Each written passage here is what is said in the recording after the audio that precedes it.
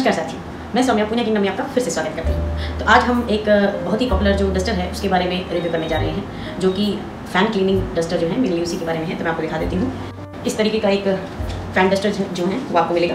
देख लीजिए, ये अभी एक्सटेंड नहीं किया है मैंने इसको। ये इसकी जो पाइप है, ये यहाँ से इस तरीके से लेंथ आप इसको क्या कर सकते हो एडजस्ट कर सकते हो। और ये इसका हेड है, ये भी रिमूवेबल है। इसका ये ये पोर्शन मुझे पसंद आया कि ये जो है, ये रिमूव हो जाता है। यहाँ से खोलेंगे हम इसको तो ये इस तरीके से। तो अगर आपको डस्टिंग करनी होगी तो ये माइक्रोफाइबर क्लोथ है और ये नया नहीं है प्रोडक्ट मैं इसको काफ़ी लंबे टाइम से यूज़ हो रही है। आई थिंक एक साल हो गया मुझे इसे यूज़ करते हुए। तो मैं आज आपको इसका यूज़र रिव्यू है, वो शेयर करूँगी। तो सबसे पहले कंप्यूटर के लिए ही इसे मैंने परचेज़ किया था। बिल्ड क्वालिटी इसकी अच्छी है। मैंने इसे ऑफलाइन परचेज़ किया ऑनलाइन में काफ़ी ऑप्शन जो है, वो अवेलेबल हैं आपके पास। इसकी एक जो बेस्ट चीज़ क्या है, देखिए, ये इस तरीके से फोल्ड हो जाता है। फ्लेक्सीबल हेड है इसका तो इस तरीके से ये फोल्ड हो जाएगा और पंखे के ऊपर जब हम करेंगे तो पंखे की जो ताड़ियाँ हैं, वो साफ़ हो जाएँगे इससे। उसकी जो फ़ैन ब्लेड्स होती हैं, पंखे की। और इसको आप जितना मर्ज़ी अपने अकॉर्डिंग जो है, इसको आप फोल्ड कर सकते हो। ये इसका फ्लेक्सीबल हेड है। तो हम देखते हैं पंखा कैसे साफ़ करते हैं चलिए बने इसको, इसकी जो हाइट एडजस्ट कर लेते हैं हम अच्छे से। और अब मैं दिखाती हूँ आपको कि हम इसे पंखा कैसे साफ़ करें। ये फ़ैन की ब्लेड्स आप देख लीजिए, जो है, किस तरीके से है।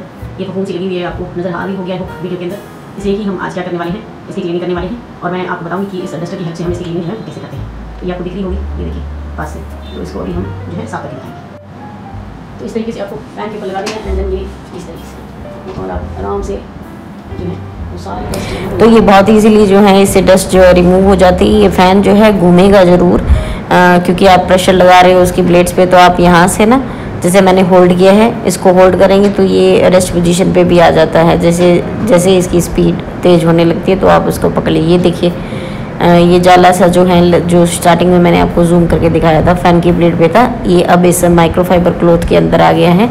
तो फ़ैन हमारा क्लीन हो गया है।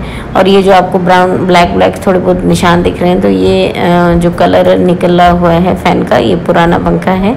ये डस्ट नहीं है इसके ऊपर, है ना? ये परमानेंट मार्क्स हैं जो कि जाते नहीं हैं। लेकिन मैंने फ़ैन को अच्छे से साफ़ कर दिया है और ये काफ़ी यूज़फुल डस्टर है। देखिए सारी जितनी भी डस्ट होती है, ये माइक्रोफाइबर क्लोथ है तो इसके ऊपर क्या हो जाती हैं, ये कलेक्ट हो जाती हैं। आप इसको थोड़ा सा पानी से वेट कर लीजिए और उसके बाद आप करेंगे तो आपको रिजल्ट्स और भी ज़्यादा अच्छे मिलेंगे। बहुत ही यूज़फुल प्रोडक्ट है, लेकिन अगर आप ये सोच रहे हैं कि आपका किचन का जो है ग्रीसी पंखा है, वो इससे साफ़ हो जाएगा तो ऐसी उम्मीद करना बिल्कुल जायज़ नहीं होगा इस प्रोडक्ट के साथ में।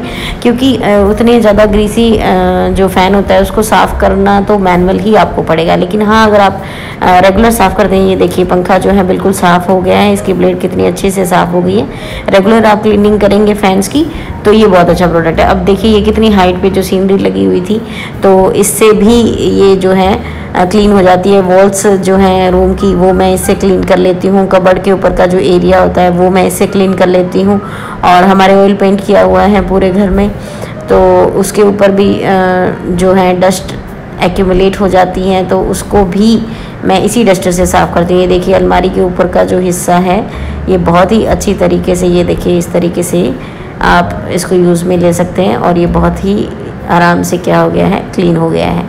सिमिलरली कोई सीनरी वगैरह है कोई फ़ोटो के आपके पोर्ट्रेट्स हैं जैसे ये घड़ी लगी हुई थी मेरे रूम में तो इसको भी मैं आ, हल्के हाथ से साफ़ कर लेती हूँ। और ये जो कर्टन के जो रोड्स होते हैं उनको भी वॉल्स को भी तो ये मल्टीपर्पज़ डस्टर हैं। मुझे काफ़ी पसंद है ये और इसके क्लीनिंग रिजल्ट्स बहुत अच्छे हैं। मैं इसको एक साल से यूज़ कर रही हूँ। मुझे बेहद पसंद अब ये देखिए वॉल जब साफ़ करनी होती है, ये एडजस्टेबल है तो आप इसका हेड देखिए, कितना फ्लेक्सिबल है। ये बिल्कुल फ्लैट हो गया है और ये वॉल के ऊपर जैसे आप हाथ से कर रहे हो डस्टिंग बिल्कुल ये देखिए, बिल्कुल वैसे ही ये डस्टिंग कर रहा है।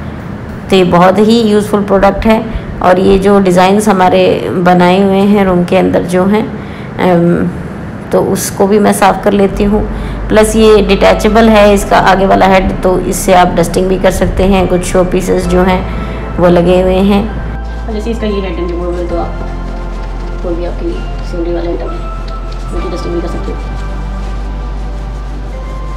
तो ये माइक्रोफाइबर क्लोथ है तो ये अच्छे से इसके अंदर जो है स्पेस बने हुए हैं उनके अंदर अच्छे से साफ़ हो है